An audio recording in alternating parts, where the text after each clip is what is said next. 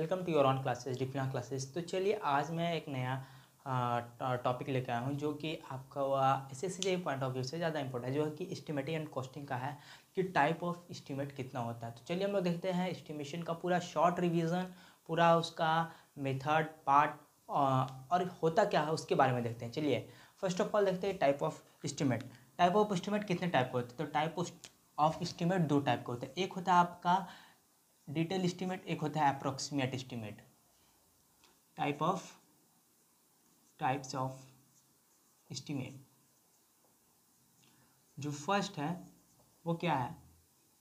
जो फ़र्स्ट है मेरा एक अप्रोक्सीमेट है और जो सेकंड है मेरा, वो डिटेल है. अप्रोक्स अप्रोक्सीमेट एस्टिमेट चाहे हम इसको प्रीलिमिनरी एस्टिमेट भी बोलते हैं. और सेकेंड है मेरा डिटेल एस्टिमेट अप्रॉक्सीमेट एस्टिमेट में क्या होता है कि अप्रॉक्स एस्टिमेट में डिटेल नॉलेज नहीं चाहिए। क्या होता है? शॉर्ट नॉलेज चाहिए। तो इसमें क्या होता है? अप्रॉक्सीमेट में कि no detail knowledge no detailed no detailed knowledge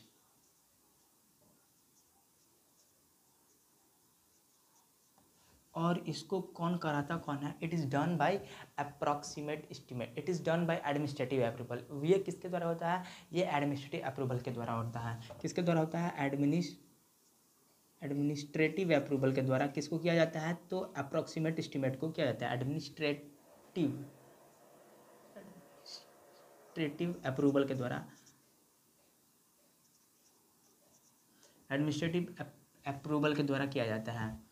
कौन सा है? तो अप्रॉक्सीमेट एस्टिमेट और डिटेल एस्टिमेट में क्या होता है कि इसमें क्या होता है कि इसमें डिटेल नॉलेज चाहिए। किसी पार्ट का डिटेल नॉलेज चाहिए कि एस्टिमेशन कहाँ पे हो रहा है कैसे हो रहा है। तो इसमें पूरा एस्टिमेशन में डिटेल नॉलेज चाहिए कि आइटम कितना लग रहा है इसका क्या रेट है। ये पूरा इसमें डिटेल एस्टिमेट चाहिए कि, कि और इसमें क्या होता है इसको जो रन कराता है वो कौन कराता है? वो इसको जो रन कराता है it is done by the technical section किसके द्वारा होता है? टेक्निकल टेक्निकल टेक्निकल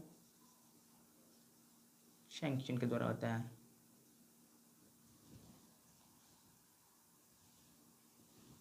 तो चलिए हम लोग देखते हैं कि अप्रोक्सीमेट एस्टिमेट कितने टाइप का होता है और डिटेल एस्टिमेट कितने करते हैं। अप्रोक्सीमेट अप्रोक्सीमेट एस्टिमेट चार टाइप का होते हैं। पहला हो गया आपका आ, कि plinth plinth area plinth area दूसरा होगा क्यूबिकल कंटेंट थर्ड हो गया आपका थर्ड हो गया आपका टिपिकल वे मेथड और फोर्थ जो हो गया वो हो गया आपका फोर्थ यूनिट रेट मेथड तो चलिए हम लोग देखते हैं कि फ़र्स्ट क्या है। तो फ़र्स्ट है आपका plinth plinth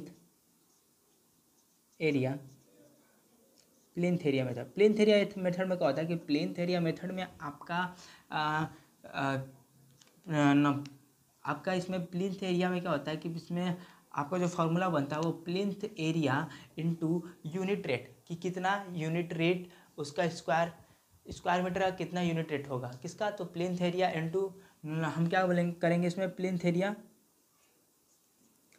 into unit unit rate of square पर मीटर स्क्वायर में कितना इसका रेट लग रहा है? Unit rate of unit rate of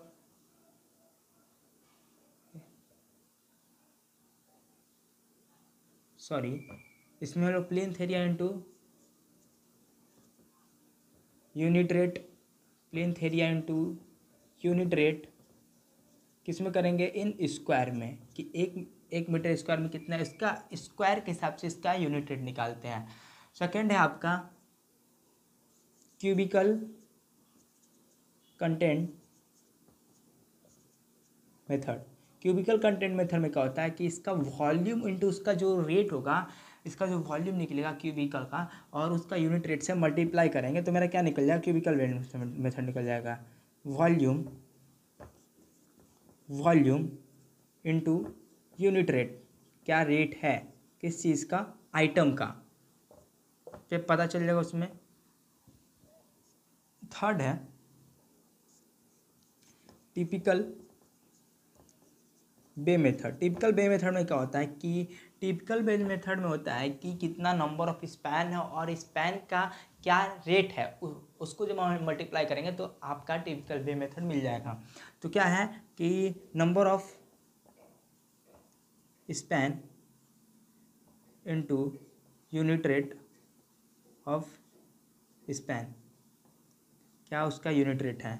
और जो थर्ड है, आपका, जो आपका फोर्थ है सॉरी जो फोर्थ है, वो है जो फोर्थ है यूनिट रेट और क्या उसको बोलते हैं? रनिंग मेथड इसमें क्या होता है? इसको जब हम डिज़ाइन करते हैं, जो इसका एस्टिमेट जो निकालते हैं, वो कैसे निकालते हैं कि पर बेड पर बेंच पर पर बेडरूम के हिसाब से क्या करते हैं? इसमें हम लोग इसका यूनिट फाइंड आउट करते हैं। तो फ़र्स्ट ऑफ़ ऑल इसमें क्या करते हैं कि number of number of be a number of number of unit into rate of per bed.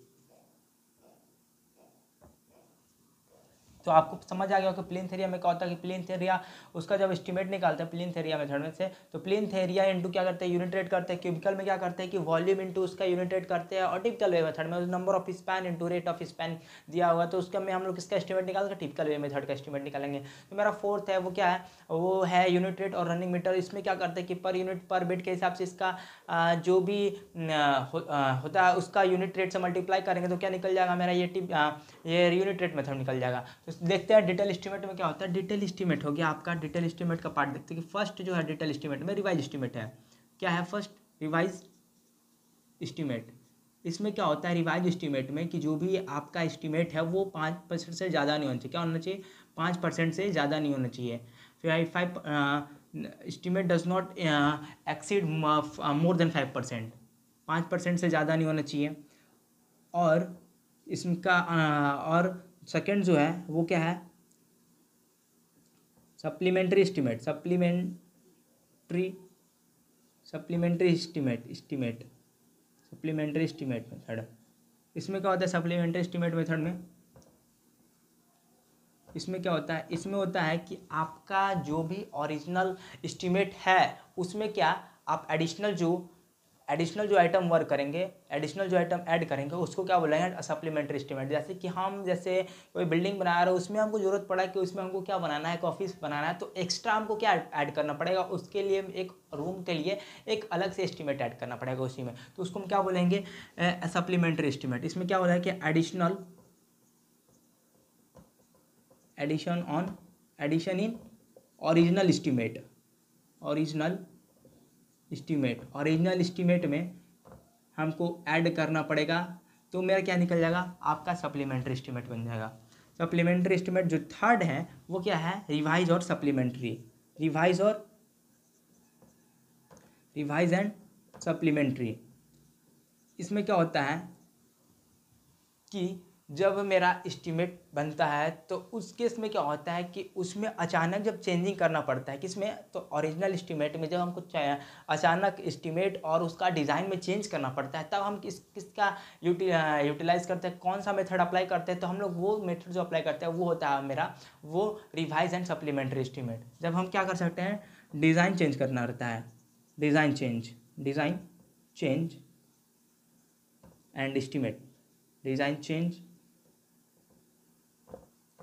simple design change लिख सकते हैं। और एक और होता है मेरा annual repairing, annual repair annual repair annual repair annual repair. Estimate क्या होता है कि एनुअल एनुअल रिपेयर इस्टीमेट में होता है कि जो भी हम रिपेयरिंग करते हैं, जैसे कि रोड वर्क फिर बिल्डिंग का फिर हॉस्पिटल का रिपेयरिंग जो करते हैं पेंट ये सब किसमें आ जाएगा कि एनुअल रिपेयरिंग में, जिसका हम लोग जो जो हम लोग इस्टीमेट लेते हैं एनुअल रिपेयरिंग के लिए, डेढ़ से दो परसेंट तक हम इसका लेते हैं। इसका तो प्रोजेक्ट कॉस्ट का हम इसका डेढ़ से दो परसेंट क्या लेते हैं एनुअल रिपेयरिंग इस्टीमेट लेते हैं। इसमें आ जाएगा आपका के मेंटेन रोड, बिल्डिंग एक्सेट्रा इसमें आ जाएगा। तो आपको वीडियो पसंद आए तो लाइक शेयर सब्सक्राइब किया। तब तक के लिए जय हिंद।